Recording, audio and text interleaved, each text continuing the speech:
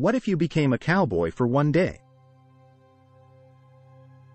There's a funny thing about the American mentality. Guys are able to turn even small and not too significant events into a legend. The culture of North America is proud of everything that is more important than making money from it. That's why stories about cowboys have collected billions of dollars at the box office of movies, earned the same amount by releasing games. Costumes and paraphernalia have been sold in so many quantities you can't even count them. At the same time, cowboy stories have gotten about as far away from reality as a child's rocket designer from going to Mars. In the next few minutes, we will introduce you to the real story of an ordinary U.S. cowboy. This will help illustrate that even the most ordinary cowboy, like Trent Alexander Arnold of Texas, can become a legend. The action takes place in 1867. Our hero is watching bulls in the middle of a ranch near the city of Austin, in the south of the modern USA. The cowboy costume is perhaps the only thing that games and movies have conveyed perfectly.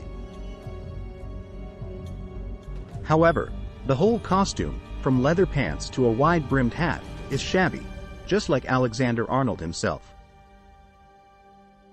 He is 48 years old, 16 of which he spent in war. First it was the war for Texas's independence from Mexico in 1835.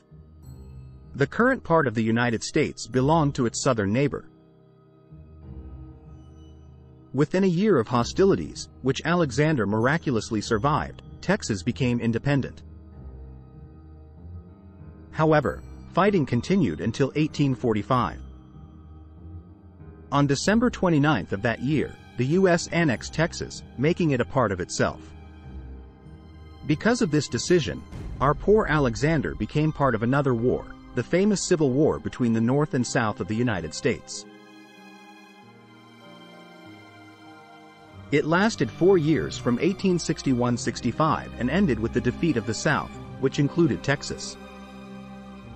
However, everyone won, because slavery was abolished, and President Andrew Johnson proclaimed the Reconstruction of the South in order to make the United States an economic monster. Railroads were built, reforms were made, and life seemed to be getting better. But for Alexander and working men like him, who had spent their entire lives at war, veterans trivialized what to do.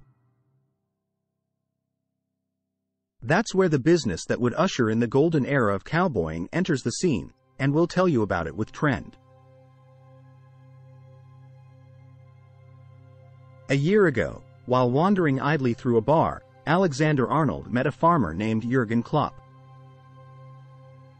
Jurgen complained a lot about the hard life with bulls, cows and other horned cattle in Texas. Commercial raising of animals there is extremely difficult bulls run away, neighbors steal parts of the herd, and prices are low at the cattle market. However, Rumor has it that in wealthy eastern cities like New York and Philadelphia, they are willing to pay millions for beef. But the trouble is, the nearest railroad is a thousand miles from Austin, and it is almost impossible to get a herd to it. Our Trent scratched his head and offered the farmer his idea to keep track of the cattle, brand them, and, time after time, drive them to the station and sell them to the east. Jurgen thought for a moment and agreed.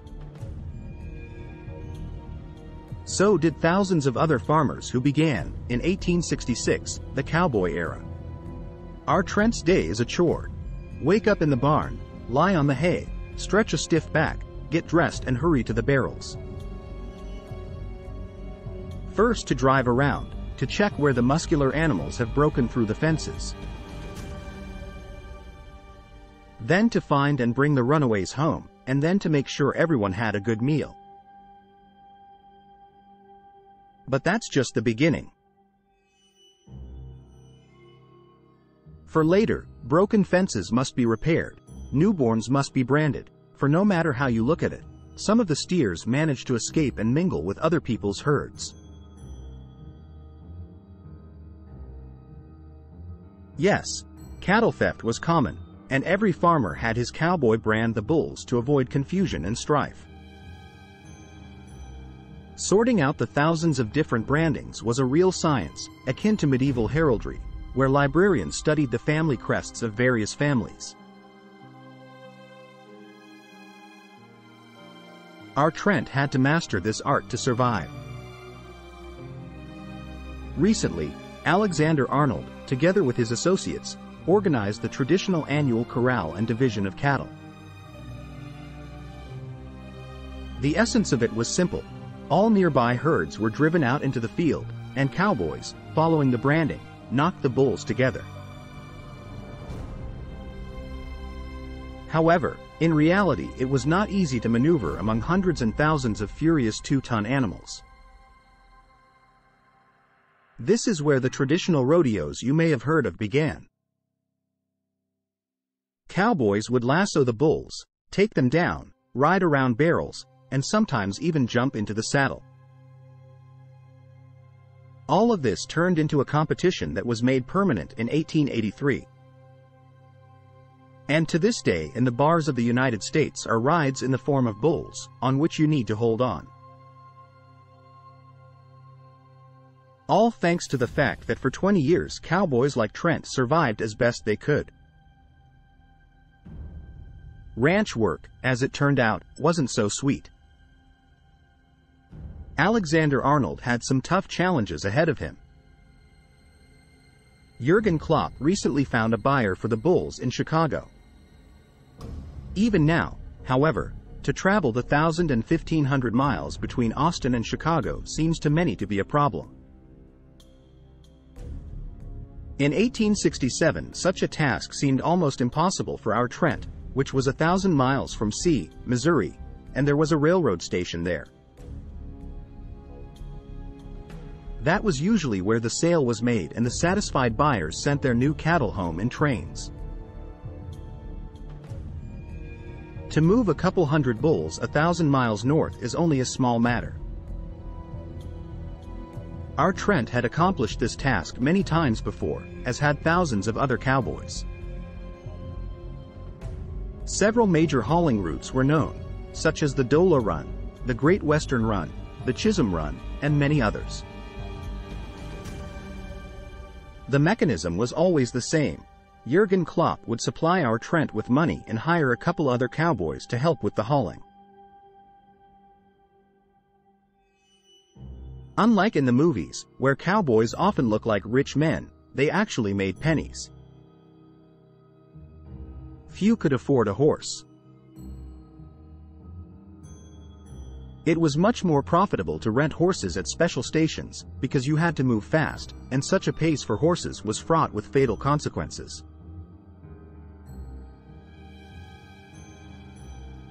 Moving across the desolate prairie, Trent and his companions surrounded the herd in a ring, making sure that not a single cow fought back.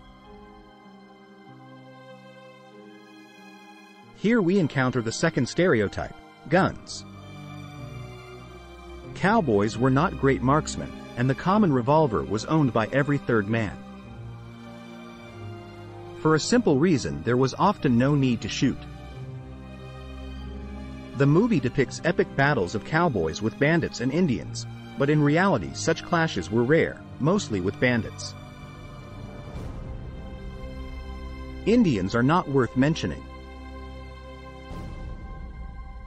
Movies, books and games are blatantly lying. By the time the cowboys showed up in 1866, the Indians had long since been driven far west. There were, of course, occasional skirmishes on the western passes, but they could be counted on one's fingers. For the Indians were by then a sorry sight. Remembering the Indians, the cowboys saw how they huddled together in small villages and seemed not enemies but miserable starving people. This case is described in Olson Alfred's book, and is also supported by evidence that the cowboys themselves often shared provisions with the Indians. Here we get into the ground of the legendary code. Our Trent, like any self-respecting member of the profession, strictly observed unofficial laws. One of them was that a cowboy always helped those in need, despite his own poverty. A cowboy was forbidden to complain, as this was the lot of the weak. Also a cowboy had to be brave, modest and silent. And horses were a separate story. After a hard day, a cowboy had to feed his horse first and then take care of himself. Horse thieves were hanged without hesitation. Riding another man's horse was considered a tougher crime than sleeping with another man's wife. But that wasn't all the rules Trent and his comrades followed on the long cattle drive.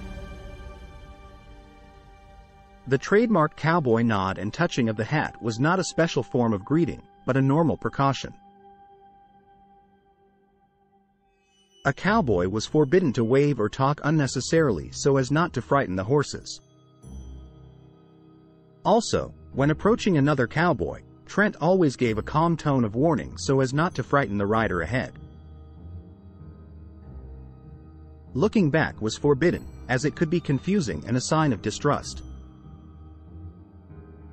Following all these rules, Trent and his cowboys drove the herds on. At night, an interesting process began to keep the herd from scattering. The cowboys constantly patrolled the perimeter, checking on each other and echoing through verses of Kafka songs.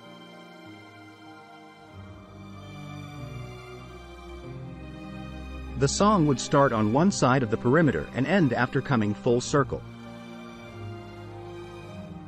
This gave birth to cowboy songs, ballads, and a whole genre of music that is still alive today.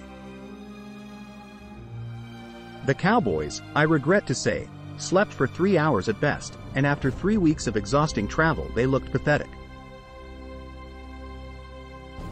It's hard to blame the guys for taking the money they received and going on a bender. The cowboy code even obliged them to shoot in the air and yell when they left town after drinking. So the boys were paying tribute for the welcome, which was not always so. For dozens of cowboys after a grueling transition often went to pieces, and some towns even hired bandits as guards. There are thousands of stories of Texas cowboys returning home after a money haul and going on a rampage, killing people and organizing pogroms. That's more of an exception to the rule, though, and our Trent isn't prone to that. Alexander Arnold is a good guy and saves the standard 50 to $100 per haul for the future. The base of one haul allowed the cowboy to earn a six month's wages. In the winter, when cattle are not driven, cowboys received 15 to $20 a month. That's a pittance. Firemen, for example, made 100 a week.